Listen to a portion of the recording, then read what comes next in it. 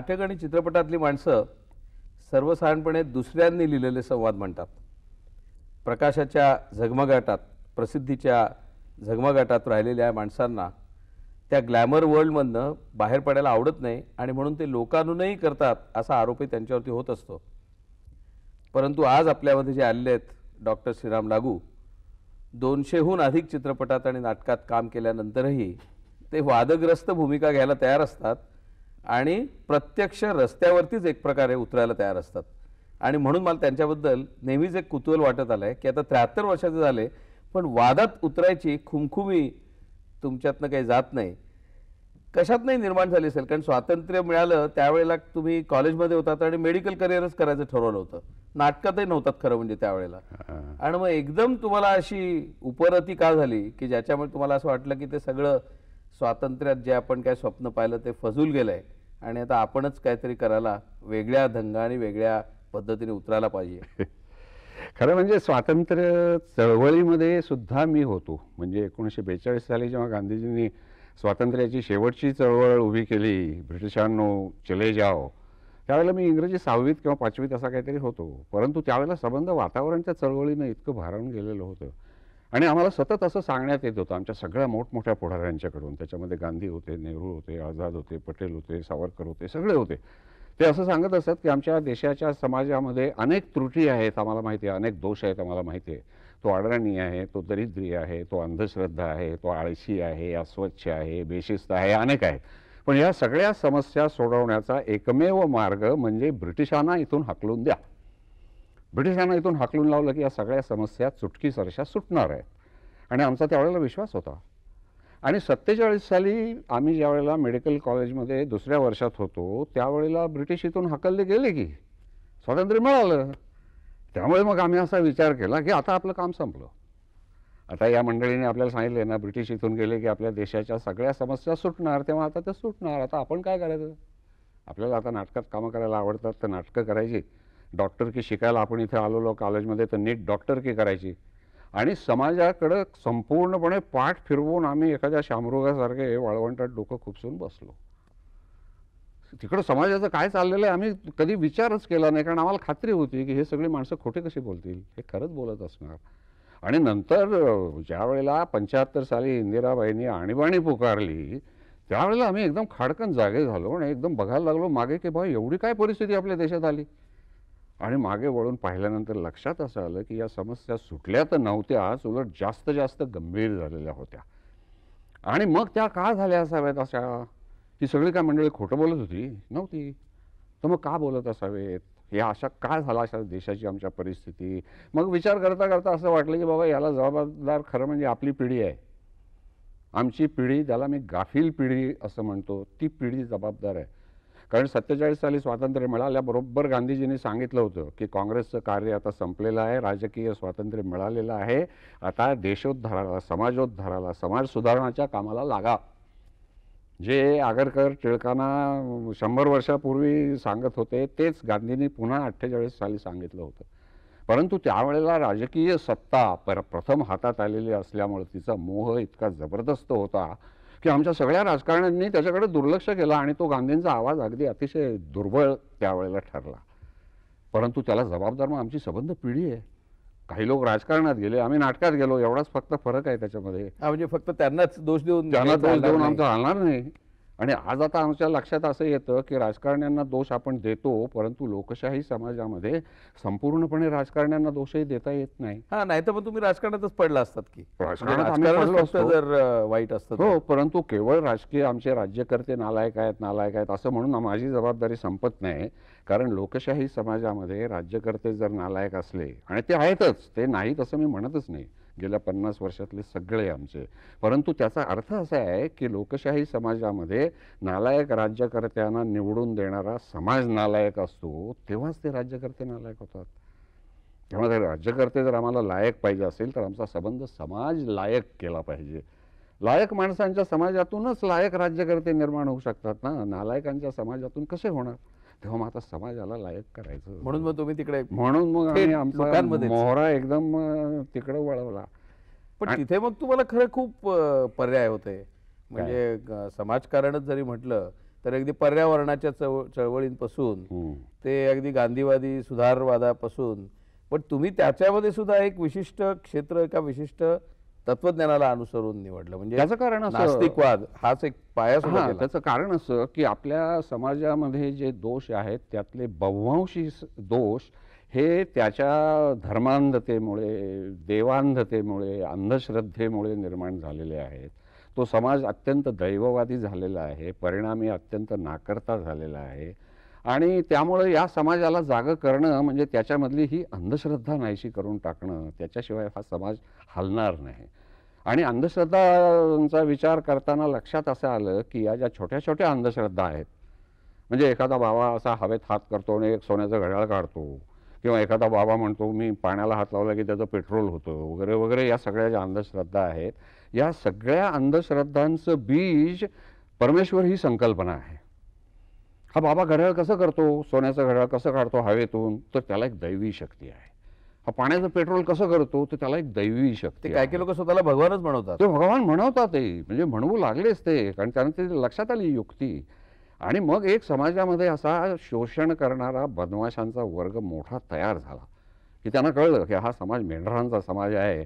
या समाजाला मी वाटेल तसा वागवू शकतो. त्याला फक्त देवाची भीती घातली की तो हे करतो. की तू असा जर वागला नाहीस तर देव तुला पाप देईल. कुठलीही एक काहीतरी पार्वती मा उठते आणि ती म्हणते मी पोटावर हात ठेवला तर गर्भारशी कुठलीही बाई अगदी वांज असलेली बाई सुद्धा तिच्या पोटामध्ये गर्भधारणा होते. आणि तिच्याकडे जायला आमच्या लोकांचे क्यूजच्या क्यूज लागतात. आज सुद्धा मी बघतो या निरनिराळ्या ठिकाणी दर्शनं घ्यायला जे जातात. पंढरपूरच्या यात्रेची संख्या प्रचंड वाढते शिर्डीला जाणाऱ्या लोकांची संख्या वाढते. दरवेळेला ॲक्सिडेंट झालेले जर पाहिले तर ते त्या शिर्डीच्या साईबाबाकडून परत तरी येत असतात किंवा दर्शनाला जात तरी असतात. पण हे काही त्यांच्या डोक्यात येत नाही की अरे मग बाबा मला त्या परमेश्वरानं कसं माझ्या वाहनाला का अपघात घडवला माझं संबंध कुटुंब कसं नामशेष केलं?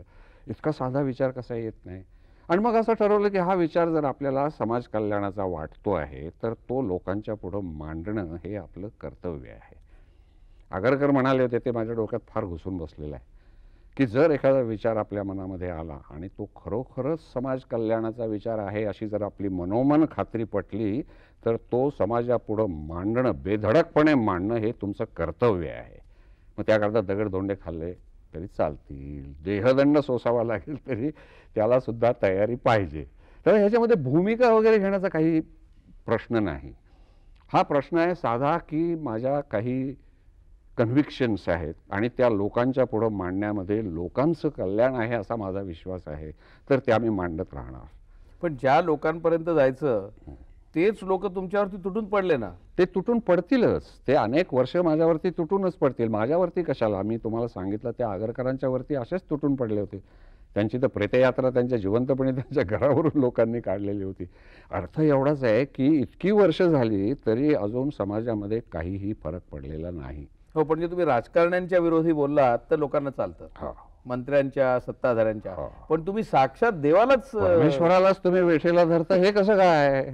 असा तो प्रश्न त्याच्यात तो प्रश्न येतो परंतु मला असं वाटतं की परमेश्वर असं जे मानलं जातं ना की ही परमेश्वर ही कल्पना किंवा धर्म ही संकल्पना ही माणसाला एक आंतरिक गरज आहे. तर वास्तविक पाहता आज विज्ञानाने असं स्वच्छ सिद्ध केलेलं आहे की ती आंतरिक गरज वगैरे काहीही नाही. एखादं नवजात मूल जर एखाद्या निर्जन बेटावर कुठल्याही संस्काराशिवाय वाढवलं तर त्याच्या डोक्यामध्ये परमेश्वर धर्म वगैरे या असल्या खोलचट कल्पना अजिबात येत नाहीत. वुल्फ बॉयची आपल्याला माहिती आहे. एखादा जंगलात हरवलेला मुलगा लांडग्यांच्या कळपामध्ये वाढतो. चांगला सहा सात वर्ष आठ वर्ष दहा वर्ष वाढतो. तो मुलगा जो असतो त्याच्या डोक्यामध्ये परमेश्वर किंवा धर्म वगैरे या कल्पना येत नाहीत.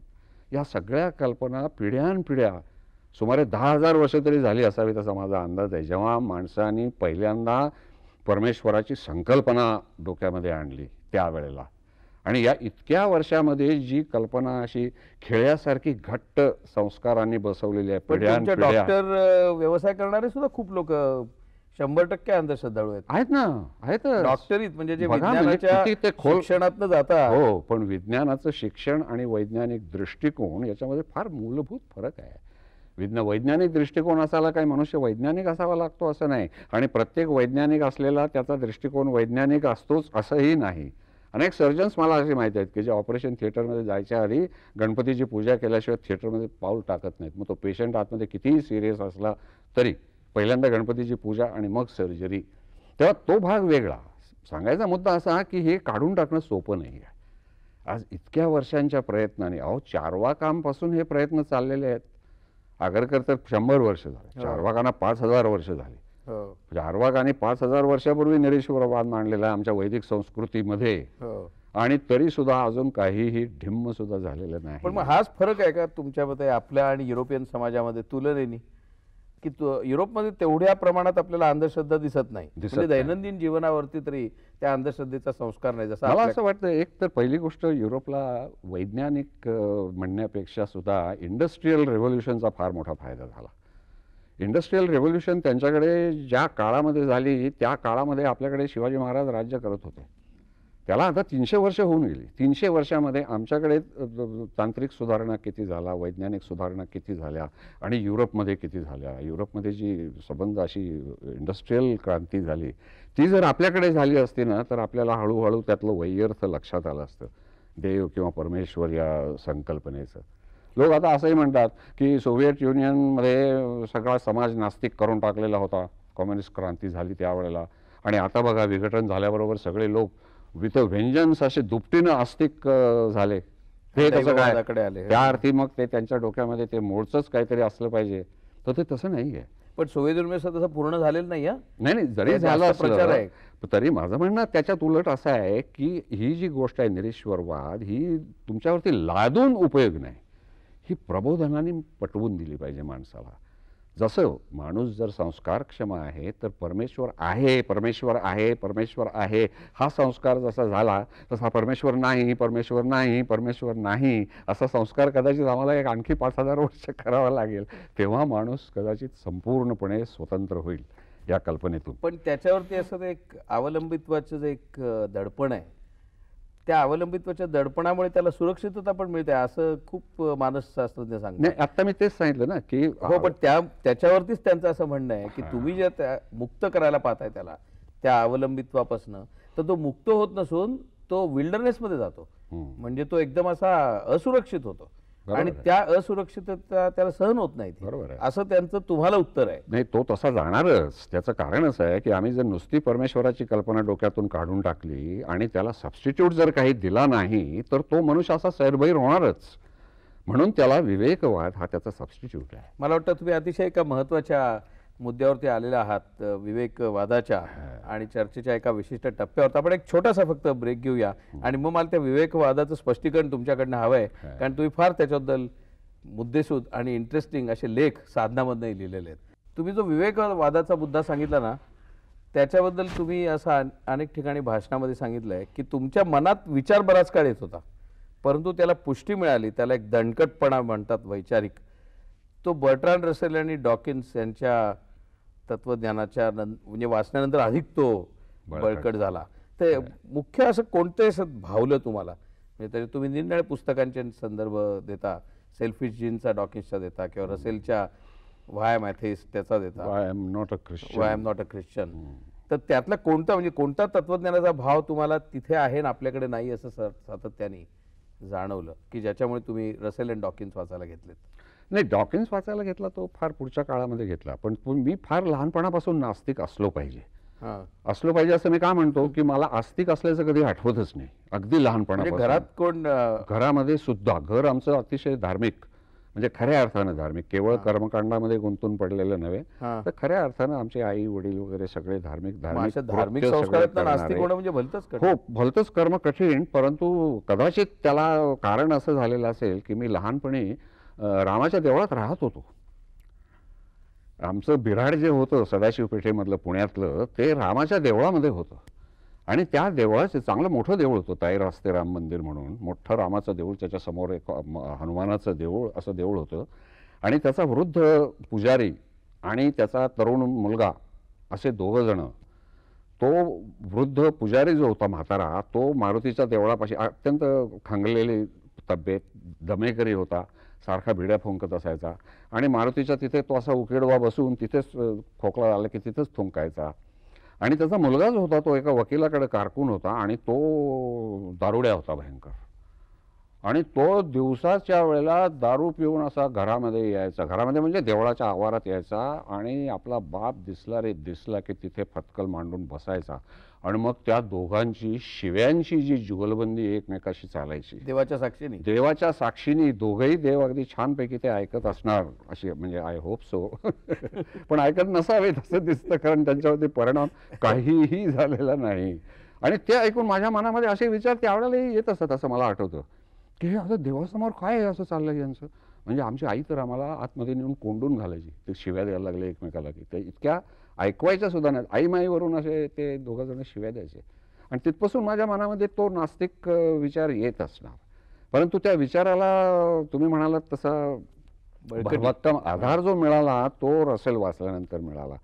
की आपला विचार म्हणजे अगदीच काही माथे फिरू विचार नाहीये बरं का? त्या विचारालाही देणारा भरभक्कम आधार देणारा एक ब्रिटिश तत्वज्ञ जो आज जगामधला एक सर्वश्रेष्ठ तत्वज्ञ मानला जातो तो मनुष्य आहे. असं म्हटल्यानंतर मग मी नास्तिक बरंचसं आणखीन खूप लोकांचं वाचायला लागलो. मला मिळालंही. तर्कतीर्थांच्या ह्याच्यामध्ये मला नास्तिकवादाचा खूप हे मिळाला आधार मिळाला. कुरुंदकरांच्या लेखनामध्ये मला मिळाला. असा मला आधार तो याच्यातून पण मिळत. नास्तिकवादाचं एक वैशिष्ट्य मला जाणवलंय. काही नास्तिक असतात ते क्रूर होतात. म्हणजे देवाचीही पर्वा करायची नाही मग माणसाची पर्वा करायची काय गरज आहे. आणि नास्तिकवाद हा कधी कधी क्रौर्याकडे सुद्धा माणसाला नेतो. म्हणून मला वाटतं पंडित नेहरू म्हणले होते की अंधश्रद्ध नास्तिक हा फार धोक्याचा ठरू शकतो. म्हणजे नास्तिकवादाचीच अंधश्रद्धा जो मानतो तो असं एकदा पंडित नेहरू म्हणले होते. त्या अर्थाने पण तुमची नास्तिकता जी आहे ती मानवतावादी मला का वाटते? कारण तुम्ही मला वाटतं फाशीच्या शिक्षेला सुद्धा विरोध केला? आणि त्यावेळेला तुमच्यावरती भयंकर टीका म्हणजे सगळ्यात समाजच तुटून पडला. होते म्हणजे मला आश्चर्य वाटतं की आपण एका बाजूने स्वतःला अहिंसावादी राष्ट्र म्हणतो. गांधीवादी राष्ट्र म्हणतो वेदात आणि गौतम बुद्धाच्या काळात आपण सगळे अहिंसेचा संस्कार घेतलेले मानतो. आणि फाशीच्या शिक्षेला तुम्ही विरोध केला म्हटल्यावर तुम्हाला एकदम कडाडून फाशी. द्यायला निघाले तुम्ही. हा, तुम्हालाच फाशी द्यायला. असे आली होती पत्र? हो, हो. हा, म्हणजे वर्तमानपत्रात मी नोकरी करतो. यांनाच फाशी द्यायला हवी अशी पत्र आली होती. पण तुम्हाला त्यातला कोणता म्हणजे त्यातला विचार काय त्याच्या नाही पाठीमागे नाही मी तुम्हाला सांगू का? मी खरं म्हणजे मूलत जीवनानंदवादी माणूस आहे. मला कोणत्याही वैचारिक भूमिका ज्या माझ्या आलेल्या आहेत ना त्या माझ्या जीवनानंदवादातून आलेल्या आहेत की माझं जीवन हा एक अपघातानं मला मिळालेला भाग आहे. तो जोपर्यंत माझ्या वाट्याला आलेला आहे तोपर्यंत जीवनात जास्तीत जास्त आनंद जास्तीत जास्त सुख जास्तीत जास्त सौंदर्य कसं निर्माण करता येईल हे मला पाहायचं आहे. मला परलोकावरती माझा विश्वास नाही आत्म्यावर माझा विश्वास नाही परमेश्वरावर माझा विश्वास नाही पुनर्जन्मावरती. पुनर्जन्मावर माझा विश्वास नाही. मग माझा जीवनानंदवाद मला असं सांगतो की तुला जर आनंद निर्माण करायचा असेल तर तो भोवतालच्या दुःखाचा नाश करत करतच निर्माण केला पाहिजे. किंवा तुला जर सौंदर्य निर्माण करायचं असेल तर भोवतालच्या कुरूपतेचा नाश करत करतच ते सौंदर्य निर्माण केलं पाहिजे. मग हिंसा ही क्रूर आहे. दारिद्र्य हे क्रूर आहे. अज्ञान अडाणीपणा हे क्रूर आहे अंधश्रद्धा हे क्रूर आहे. तसंच फाशीची शिक्षा. फाशीची शिक्षा. म्हणजे तर हिंसाच आहे. जाणून बुजून बुद्ध्या माणसाने माणसाची केलेली हिंसा अनैतिक आहे असं मानणारा मी माणूस आहे बुद्धासारखा गांधींच्या सारखा मग कुठल्याही प्रकारची हिंसा कुणीही जर केली तर मी ती अहिंसक ती अनैतिकच मानली पाहिजे. ज्या अर्थानं युद्ध हे अनैतिक आहे असं मी म्हणतो. त्याच अर्थानं फाशीची शिक्षा ही अनैतिक आहे. तुमच्या म्हणण्याप्रमाणे न्यायाधीश ज्या वेळेला ते सही करून ते पेन मोडतो त्यावेळेला तोही एक खुनालाच एक प्रकारे तो खूनच करायला सांगत असतो ना आणि तो तर अगदी बुद्धी म्हणजे काय म्हणतात अक्कल अक्क आपल्या इकडे अक्कल हुशारीने आणि नशा पाणी न करता असा जो एक लिगल त्याच्यामध्ये शब्द आहे ना तसा तो करत असतो. अनेक खून जे होतात ना ते खून भावनेच्या भरामध्ये होतात. थंड डोक्याने ठरवून खून झालेले फार थोडे आहेत असं स्टॅटिस्टिक सांगतं हा. म्हणजे तुम्ही त्या कोसलरचं जर पुस्तक वाचलं रिफ्लेक्शन्स ऑन. हँगिंग म्हणून तर त्याच्यामध्ये त्यांनी स्टॅटिस्टिक दिलेलं आहे. की जवळजवळ नव्वद टक्के खून हे भावनेच्या भरामध्ये झालेले असतात. आपल्या बायकोनं व्यभिचार केला. किंवा आपल्या बहिणीवर कोणीतरी हात टाकला वगैरे अशा तऱ्हेच्या. आणि मग मनुष्य भडकतो आणखीन तो खून करतो. आपल्याकडे नानावटीची जी केस झाली होती हो. तिथे सुद्धा हाच डिफेन्स दिला गेला होता पहा. हो. की बायकोच्या हो. व्यभिचारामुळे या माणसाने तो खून हो. केलेला आहे तेव्हा त्याला त्याच्यातून हो. माफी मिळाली. पण शंभर टक्के फाशी शिक्षा मात्र अक्कलुशाने दिल्या जातात. सगळ्या अक्कलुशाऱ्याने दिल्या जातात. बरं तो तर न्यायाधीश असतो म्हणजे ज्ञानी माणूस असतो. आणि तो असं असा निर्णय घेतो की या माणसाला मारला पाहिजे. हे अनैतिक आहे. मला असं दिसतं. म्हणजे त्यांनी गुन्हा केलेला खून केलेले सिद्ध झाल्यानंतरही सुद्धा. त्याला फाशी देता कामा नये असं तुमचं मत आहे. परंतु मग तो तसा समाजात असणं किंवा चौदा वर्षांनी परत नाही त्याला तुम्ही तुरुंगात ठेवा ना. तो जर खरोखर वेडा असेल तो वेडा असेल. माझं तर म्हणणं उलट असं आहे म्हणजे माझा बुद्धिप्रामाण्यवाद मला असं सांगतो की अशा माणसांचे नुसतं सबंध शरीर नव्हे तर मेंदूसुद्धा मृत्यूनंतर काढून त्याच्यावरती संशोधन झालं पाहिजे. की ही माणसं का खुनी होतात? वेळाच्या भरामध्ये का खुनी करतात? काही माणसं अनेक माणसं काही कशाला अनेक माणसं भावनेच्या भरामध्ये काय वाटेल ते करू शकतात. आणि उलट विवेक चालवा बुद्धिप्रामाण्यवादी व्हा असं म्हटलं म्हणजे ते मात्र कोणाला जमत नाही का होतं? तर हा माणसाच्या मेंदूमधलाच एक दोष आहे. म्हणजे डॉकिन्स आज आम्हाला हे सांगतो की माणसाच्या मेंदूवरती जे संशोधन झालेलं आहे त्या संशोधनानं असं सिद्ध झालेलं आहे की माणसाचा मेंदू हा चार पंचमांशमुळे जनावरांचाच जनावराचाच आहे. जनावराचाच आहे. म्हणजे जनावरच आहे. हो माणूस हा जनावरच आहे. अमिबापासून उत्क्रांत होत होत होत होत. आता मी सांगितलं ना आमचा डायरेक्ट आजोबा म्हणजे चिंपॅन्झी आहे. आता चिंपॅन्झी आणि माणूस याच्यामध्ये फरक काय आहे? तर तो फरक फक्त त्याच्या मेंदूमध्ये आहे. माणसाला विचार करण्याची बुद्धी शक्ती कल्पनाशक्ती स्मरणशक्ती भाषा वगैरे हे हे जे प्रकार दिले आहेत हे कुठल्याही जनावराला नाही दिलेले साडेतीनशे कोटी वर्षामध्ये जी प्राणीसृष्टी उत्क्रांत होत होत होत आज माणसापर्यंत आली आहे. आणि माणूस हा त्याचा शेवट नाही. याच्याही पुढं ती उत्क्रांती आणखीन कुठं जाणार आहे माहिती नाही आपल्याला. म्हणजे आपण एका मधल्या कुठेतरी टप्प्यावर हो डॉकिन्सनी तर असं सांगितलं की इथून पुढं विचार हाच मुळी जीन होईल. आज जीनला जे महत्त्व आहे तो तो त्याला मीम मीम असं म्हणतो. आणि मेंदू हे त्याचं केंद्र असेल. केंद्र असेल. आणि तिथून त्याची उत्क्रांती आता कदाचित पुढे म्हणजे आपण एका कदाचित उत्क्रांतीच्या अशा वळणावरती उभे आहोत की इथून ती उत्क्रांती एका फारच वेगळ्या दिशेला जाईल. आणि मग शारीरिक उत्क्रांतीपेक्षा. पण माणसाला पहा तुम्ही आहार निद्रा भय मैथुनंच हे जे जनावराचे विकार आहेत ते सगळे माणसाला आहेत. फरक एवढाच आहे की त्या विकारांचं नियंत्रण करण्याची एक बौद्धिक कुवत माणसाला येईल असा मेंदू त्याला दिलेला आहे. परंतु तो मेंदू चुकीनं इतक्या रॅपिडली डेव्हलप झालेला आहे की त्याची उत्क्रांती म्हणताच येत नाही. एखाद्या गळवासारखा तो आलेला आहे. चिंपॅन्झीच्या मेंदूवर एक गळू ठेवून द्यावं आणि त्या गळवाला विचार करण्याची शक्ती द्यावी.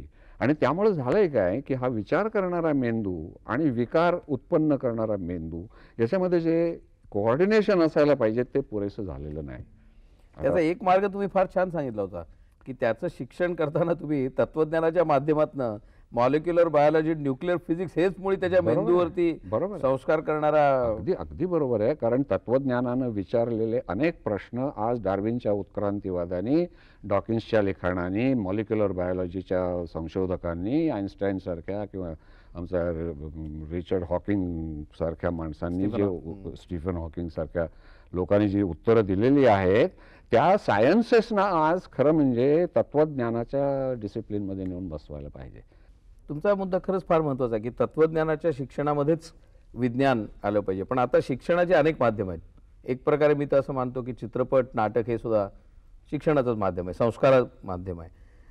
आणि मग जर हे तुम्ही मानता तर मग चित्रपटात ज्यावेळेला तुम्ही कामं करत असता त्यावेळेला तुमचं असलेलं तत्वज्ञान कन्व्हिक्शन बुद्धिप्रामाण्यवादाचं नास्तिकवादाचं दैववादाच्या विरोधातलं आणि तिथे असलेली भूमिका आस्तिकाची किंवा कित्येक वेळेला त्या चित्रपटातनं प्रचार जो आस्तिकवादाचा होण्याची शक्यता आहे त्यावेळेला हा असं अनेक वेळेला तुम्हाला हा विरोध म्हणजे आंतरविरोध तोंड द्यावं लागला असेल तर मग तो तुम्ही कसं काय खरं म्हणजे ह्याच्यामध्ये आंतरविरोध माझ्या मताने मुळी नाहीच आहे. कारण एकतर काय आहे की हा प्रश्न फक्त आस्तिकतेच्या बाबतच का निर्माण होतो मला माहिती नाही. आता मी अनेक बदमाश माणसांची पण कामं करतो. तर लोक मला असं काही विचारत नाहीत की का हो तुम्ही अगदी स्वतःला सभ्य वगैरे म्हणवता आणि बदमाशाची कामं कशी करता? आता तुम्ही बदमाशाचं काम केलेलं पाहून समाज बदमाश नाही का होणार? माझं या बाबतीतलं खरं म्हणजे मत असं आहे की असं सिनेमा पाहून माणसं बिघडतात किंवा ती सुधारतात असं काही होत नाही. तसं जर होत असतं ना तर आपल्याकडे आजपर्यंत विशेषतः भारतीय चित्रसृष्टीमध्ये अनेक संतपट निघालेले आहेत. एव्हा ना समाज सगळा संतांचा केव्हाच होऊन जायला पाहिजे होता. नाहीतरी संत तसं काही होत नाही. तसंच केवळ मी आस्तिकाचं काम केलं म्हणून अंधश्रद्धा फैलावते हे मला अजिबात पटत नाही. उलट मला असं वाटतं की ती एक समाजातलं वास्तव आहे ना. मग ते वास्तव कलावंत कलावंत म्हणून पोर्ट्रे करणं हे माझं कलावंत हा माझा चॅलेंज आहे. म्हणजे उदाहरणार्थ अगदी तुम्हाला सांगायचं तर माझ्याकडे नथुरामचं जे नाटक होतं ते काम मी करीन का असं विचारायला आलेले होते लेखक. बर. हो ते तुम्ही नथुरामचं काम कराल का? म्हटलं हो करेन की. चांगलं माझी अट काय माहिती आहे का? नाटक चांगलं असलं पाहिजे. आता ते नाटकच जर भिकार असेल तर मग मी त्याच्यामध्ये गांधींचंही काम करणार नाही. मग नथुरामचं सोडा. नथुरामाच्या विचाराशी मी किती सहमत आहे किंवा त्याचा विचार मला किती घातक वाटतो हा भाग अगदी वेगळा. परंतु म्हणून मी नथुरामचं काम करणार नाही असं होणार नाही. कारण नथुराम हे समाजातलं एक वास्तव आहे. मी काहीतरी अवास्तव तर मला तुम्ही करायला सांगत नाही. अंधश्रद्ध माणसं समाजामध्ये आहेत. आणि कलावंत म्हणून मला समाजातली निरनिराळी जितकी वास्तवं लोकांच्या पुढे ठेवता येतील तितकी ती ठेवणं हे कलावंत म्हणून हे माझं मोठं आव्हान आहे. किंबहुना तो सुद्धा एक शिक्षणाचा उलट. तुम्ही असं म्हटलं पाहिजे "अहो, कमाल आहे या माणसाची. हा काय मोठा नट आहे? हा इतका नास्तिक असून सुद्धा आस्तिक माणसाचं काम असं करतो की जणू काही तो खराच आस्तिक वाटतो. मला वाटतं मग त्या दृष्टिकोनातनं तुम्हाला ज्याला reconciliation of ideology with your actual acting असं म्हणता येईल ते तुम्हाला सूर्य पाहिलेल्या माणूसमध्ये मिळालं. की तिथे एक शंभर टक्के मनुष्य असा आहे सॉक्रेटिस की जो सारखा प्रश्न विचारतोय. आणि तो कोणतीही पूर्ण श्रद्धा किंवा अंधश्रद्धा मानायला तयार नाही.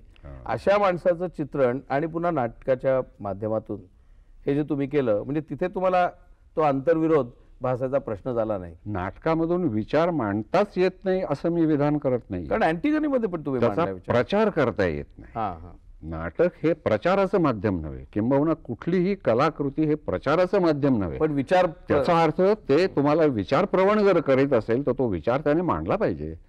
तो कलाकृतीने निश्चितच मांडला पाहिजे. तुम्हाला ते अंतर्मुख करत असेल तर तो विचार त्या कलाकृतीनं मांडलाच पाहिजे. परंतु तुमची एकच प्याला पाहिल्यानंतर ज्याप्रमाणे दारूबंदी होत नाही गेली ऐंशी वर्ष ते नाटक महाराष्ट्रामध्ये चालू असून सुद्धा त्याचप्रमाणे हे आहे. अहो आत्र्यांच्या सारखा मनुष्य जो एक किंवा दोन दिवसात नाटक लिहून देत असे अख्खच्या अख्खं इतका सिद्धहस्त नाटककार तो होता.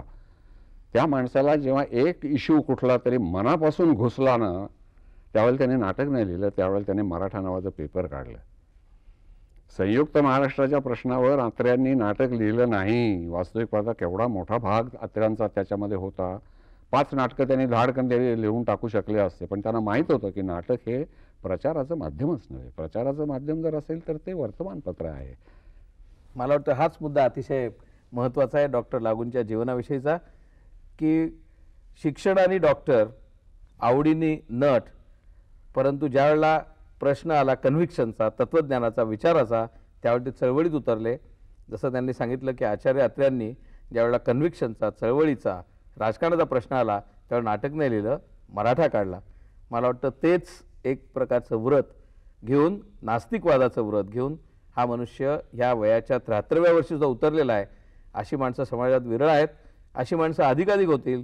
तर मला वाटतं जे स्वातंत्र्य त्यांनी पाहिलं आलेलं मी काही पाहिलं नाही ते स्वातंत्र्य खऱ्या अर्थाने लोकांपर्यंत पोहोचलेलं असेल. आपण इथे आलात. याबद्दल मनपूर्वक धन्यवाद.